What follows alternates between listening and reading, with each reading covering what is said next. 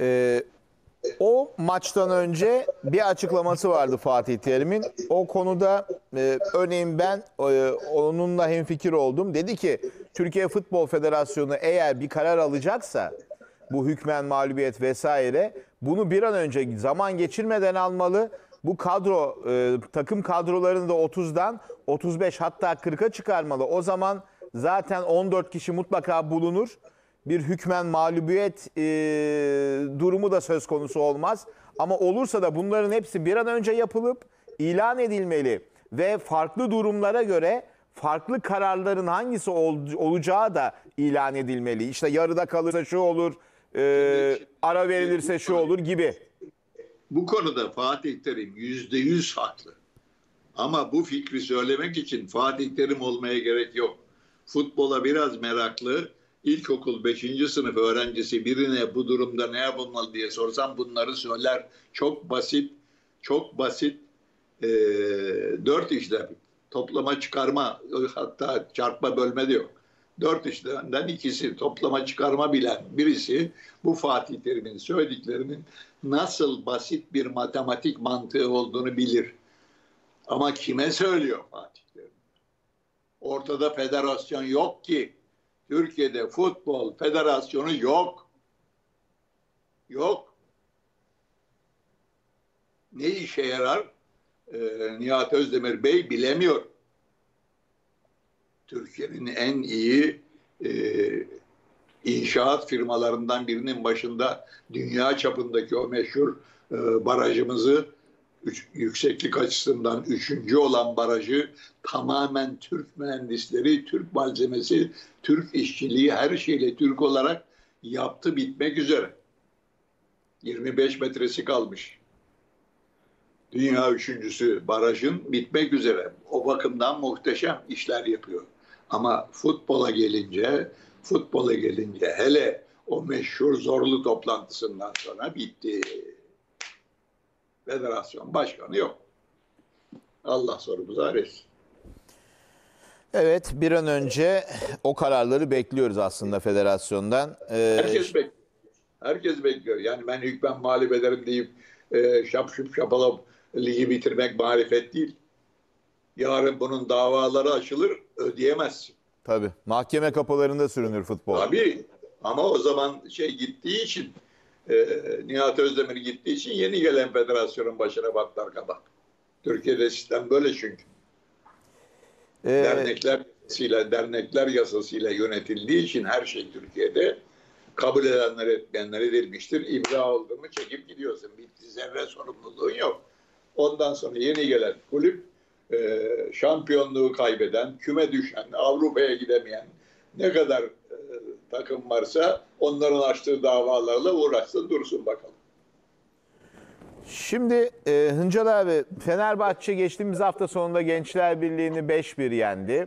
Beşiktaş e, Başakşehir'i 3-2 mağlup etmeyi başardı. Mesela Fenerbahçe'nin o maçta kadro derinliğinin avantajını net bir şekilde gördük. Kenarda bile e, milli maç yorgunu işte Ozan, Caner vesaire oyuncular vardı onca eksiğe rağmen.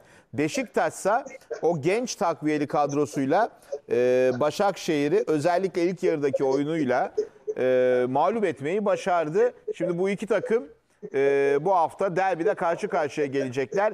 Geçen haftadan bu haftaya gelelim. Fenerbahçe ve Beşiktaş açısından. Bir defa şöyle e, yani Fenerbahçe'de e, Beşiktaş'ta rakiplerini tabelaya bakarsan ezerek yendiler. Yani Amerika'da oturan bir Türk e, televizyonunda bu skorları görünce vay be der. Oysa değil. Yani dikkat edin ben demiyorum. Fenerbahçe hocası Erol Bulut diyor. Beşiktaş hocası Sergen Yalçın diyor. Skora bakmayın biz iyi oynamadık diyenler kendi hocaları ve haklılar. Haklılar. Karşında takım yokken senin oynamadığını söylemesi hocanın aslında çok acı. Bu gerçeğe kimsenin baktığı yok. Onun için yani bu haftaki derbiyi geçen haftaki maçlara göre bakıp da değerlendirmek çok büyük hata olur.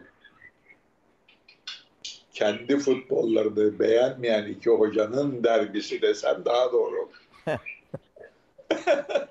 yani şimdi tabii iki hoca da iki hoca da gerek Sergen gerek Erol Bulut bu derbide en büyük işin kendilerine düştüğünü biliyorlar.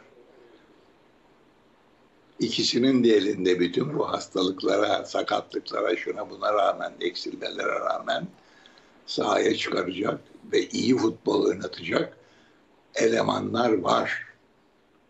Hala var. Fenerbahçe'de daha çok var. Ama bana sorarsan bu maç sahadaki futbolcuların değil, satranç tahtasının karşılıklı iki ucunda oturan iki hocanın maçı olacak. Satrançta tabii piyonlar, e, kaleler, vezirler, filler, atlar kazanır oyunu ama onları hareket ettiren adamdır maçı kazanan aslında değil mi? ben bu hafta gider bir maçtan önce maçtan önce bir satranç masasında oynayan ve iyi oynayan hocanın kazanacağını düşünüyorum. e, Tugay Kaan Numanoğlu diye e, FIFA kokartı olmayan, derbi yönetmemiş e, gencecik bir hakem yönetecek karşılaşmayı. Aslında bu e, MHK'nin son dönemde e, başvurduğu bir uygulama. Böyle isimsiz genç hakemlere şans veriyorlar. Derbi tabii zor. E, derbiyle bu hakemi kazanabiliriz. Derbiyle bu hakemi kaybedebiliriz. E, sıkıntılı, riskli bir iş ama e, doğru buluyor musunuz kararı? MHK Başkanı Serdar Tasli'yi alnından öpüyor bu işte. Cüneyt Çakır değil mi bu ülkenin en iyi hakemi? Dalya yapmış falan filan bir, bir yaptı ondan bahset. Cüneyt Çakır'ı verseler ne olacaktı? Eyyam. Kimin lehine olacaktı Eyyam? Gazetelerin manşetine hangi takım hakim bu derbide? Fener mi Beşiktaş mı?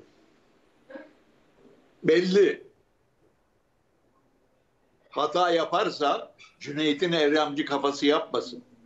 Hata yaparsa genç hakemin tecrübesizliği yapsın ben razıyım. Hiç olmazsa kafama bir takım şüpheler düşmez.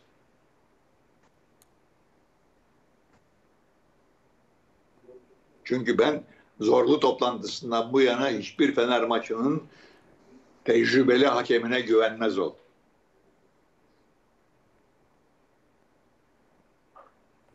Dolayısıyla Evet, genç hakem, genç hakem gördüğünü çalar. Şeyde de var da var zaten. Net bir hata yaparız onu var nasıl olsa görür düzeltir. Bu bir cesarettir Serdar Tatlı. Bu ülkeyi eyyamcı tecrübelerden kurtarmak için gençlere yönelmek, onlara şans vermek çok doğru, çok riskli ama çok doğru. Ama